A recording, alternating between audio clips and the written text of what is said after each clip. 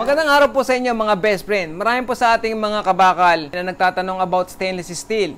Paano daw ba i-weld ang stainless steel? Paano daw ba ang mga technique? At yan ba ay pwedeng i-weld using ang ating arc welding or ang ating stick welding? Yan po ang ating pag-uusapan mga best friends sa oras na ito. Ang stainless steel po ay isang uri ng bakal na corrosion resistant. Ibig sabihin hindi siya kinakalawang. Naalala ko nga po pala sa ating comment section. Ang sabi niya, best friend niya bang stainless steel, nahuhukay ba yan sa ilalim ng lupa?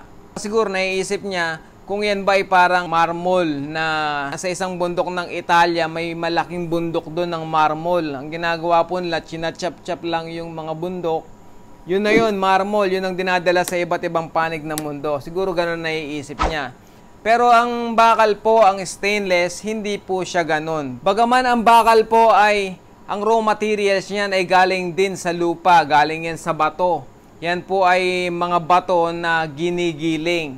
Tapos nagigiling yan ng pinong-pino, so maghihiwa-hiwala yung mga particles ng bato, meron doon iron. So gagawin nila, papaikutin nila yon yung buhangin doon sa malakas na magnet. Doon naman didikit ang mga iron. So yun po ang ginagawang process para maging steel. Dumadaan yan sa maraming proseso para maging bakal. Yan pong bakal ay naimbento noong 1850. From that year on, ginagamit na ng mga tao ang steel bilang mga kagamitan. Kaya lang ang naging problema noon ay kinakalawang ang mga kagamitan dahil gawa lang nga sa carbon iron. Until such time na naimbento ni Harley Brerley ng UK noong 1913 ang paggawa ng stainless steel. At mula noon mga best friend, ang stainless steel ay lumaganap sa buong mundo at yan po ay ang malimit na gamitin sa mga medical equipments. Kasi po sa nasabi ng mga scientifico na under the eye of the microscope, yan pong stainless steel, yan po ay pino, wala siyang butas-butas Unlike doon sa ibang steel, bawa carbon steel o ibang bagay, may under the eye of the microscope, kahit tayo hindi natin nakikita sa ating naked eye yung mga butas-butas. Pero under the microscope, may mga butas-butas siyang mga ibang steel. Pero ang stainless steel ay hindi. Yung butas daw doon nagkukuta yung maraming mikrobyo at mga microorganism. Kaya po dito sa Brazil, required po yan, ini-impose nila lahat ng restaurant na ang lababo mo dapat ay stainless steel at hindi marmol. Kasi ang marmol po kahit na tingin mo walang butas ano pero sa mata nga ng microscope makikita mo may mga butas-butas yan. Ang pagkakaiba po ng iron na normal na mild steel, tawag nila doon. Ang main ingredient po niyan ay iron plus carbon. Bagaman po yan ay meron din kaunting particles ng nickel, ng chromium, ng sulfur, ay ang main iron and carbon. Kaya po yung mild steel, tinatawag din yan na carbon iron. Tama? Pero ang stainless steel naman po, yan po ay ang major ingredients po niyan ay iron and chromium. Bagaman yan pong stainless steel ay meron din yang konting quantity ng nitrogen, ng nickel, ng copper, etc.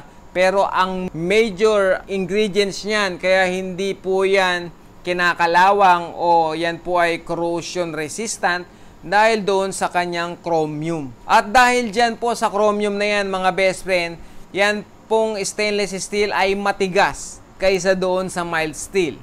Mas matigas yan, mas mahirap siyang trabahuhin, mas makinis siya, di ba? Pagka pinakintab mo, talagang kikintab siya ng napakakintab. Gawa rin niya ng chromium, mga best friend. Kaya napakalaga po ng chromium sa stainless steel dahil yan pong chromium ay nagko-combine with oxygen to form a chromium oxide na nag-a-act as a thin film na hindi natin nakikita but it protects the base metal from rust and corrosion. Yan pong stainless steel, mas maselan po yan i-weld mga best friend. Pero paano ba ang mga technique dyan?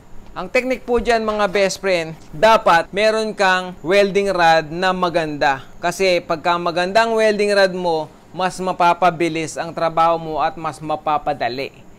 Kaya ino-offer ko sa inyo ang Nihon Weld. Meron po silang iba't ibang sizes pa ng stainless electrode. Meron po silang 2.5 stainless electrode, merong 2mm stainless, at merong 1.6 mga best friend. Ako po talaga naiingit ako dyan sa Pilipinas kasi malapit sa inyo ang Nihon Weld mga best friend. Isang international class na welding rod. O eto narito po ang bakal na stainless. Okay, i-weld po natin yan pero syempre, gaya na sinabi ko, ang sikreto ay gumamit ka ng magandang welding rod. So eto, ang 1.6 ng Nihon Weld. Wow, napakaganda ang nipis. Ito pong ating i-weld ay may kapal na 1.2.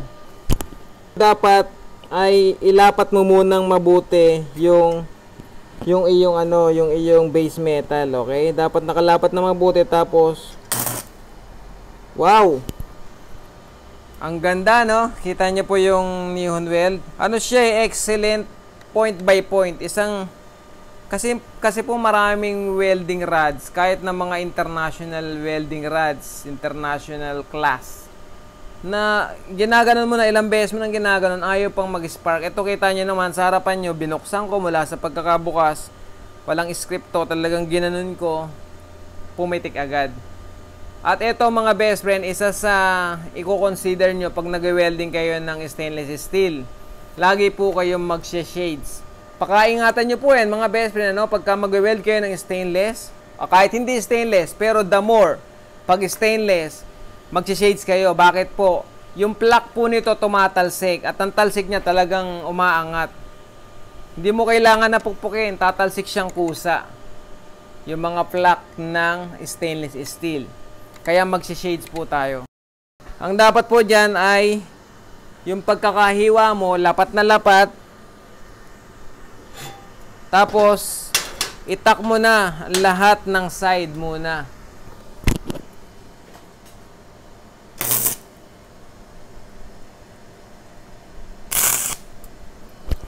Oo, ang ganda talaga nitong welding rod na to mga best friend.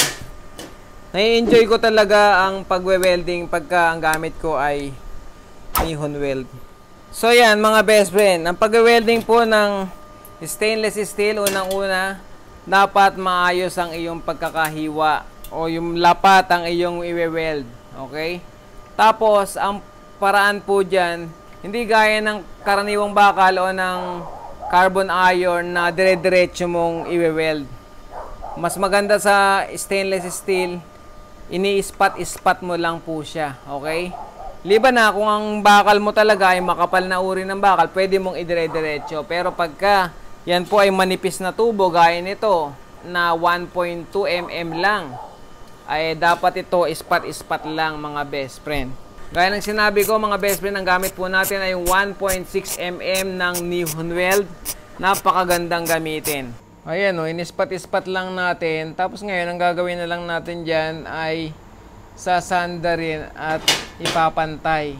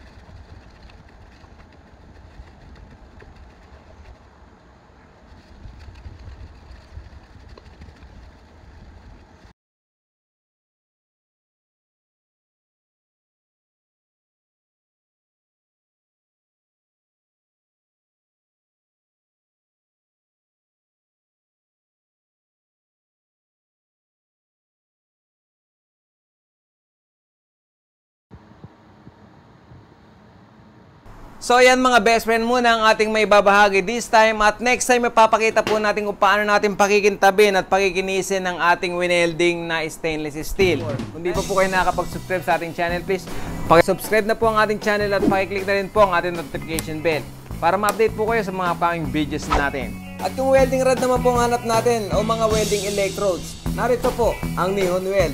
Pakipollow nyo po ang ating Nihon Wealth Facebook page at pakisubscribe na rin po ang ating Nihon Wealth YouTube channel. Dahil sa ating channel, everyone, Nihon Wealth.